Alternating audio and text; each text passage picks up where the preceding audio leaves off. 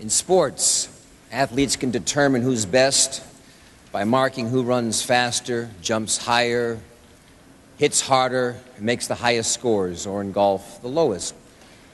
But in art, who's to determine that a Van Gogh oil is better than a Picasso charcoal?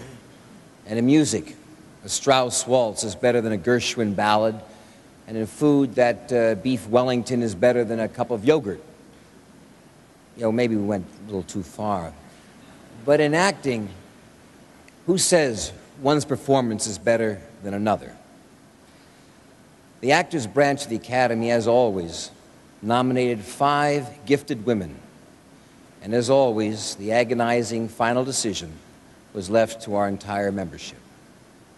The nominees are Geena Davis in Thelma and Louise, Laura Dern in Rambling Rose, Jodie Foster in The Silence of the Lambs. Bette Midler in For the Boys. Susan Sarandon in Thelma and Louise.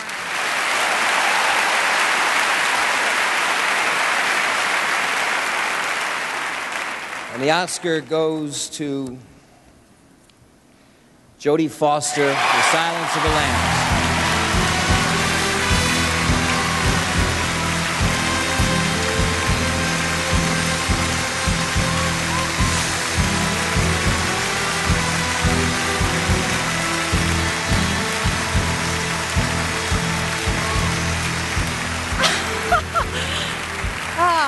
This has been such an incredible year, and um, I'd like to dedicate this award to all of the women who came before me who never had the chances that I've had, and the survivors, and the pioneers, and the outcasts, and my blood, my tradition. And I'd like to thank all of the people in this industry who have respected my choices and who have not been afraid of the power and the dignity that that entitled me to.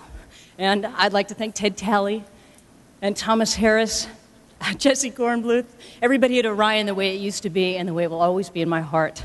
Uh, John Douglas and everybody at Quantico, uh, the incredible cast and crew of Silence and the Lambs uh, that Jonathan put together, and of course, the reason that I'm here, yeah, Anthony Hopkins, quid pro quo doctor, and my guru, Jonathan Demme, not just for his talent, but for his goodness, I promise you. And um, I'd like to thank my team of people, the only people I talk to every single day. Uh, my agent and friend, Joe Funicello, thank you. And Matt Saver, Pat Kingsley. I'd like to thank my, my family and my family of friends, the trusted ones, the circle.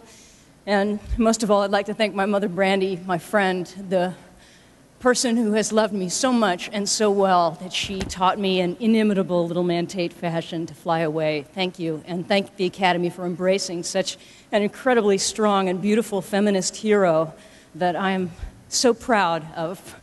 Thank you very much. Mike and Carol, you won the bet. Right on.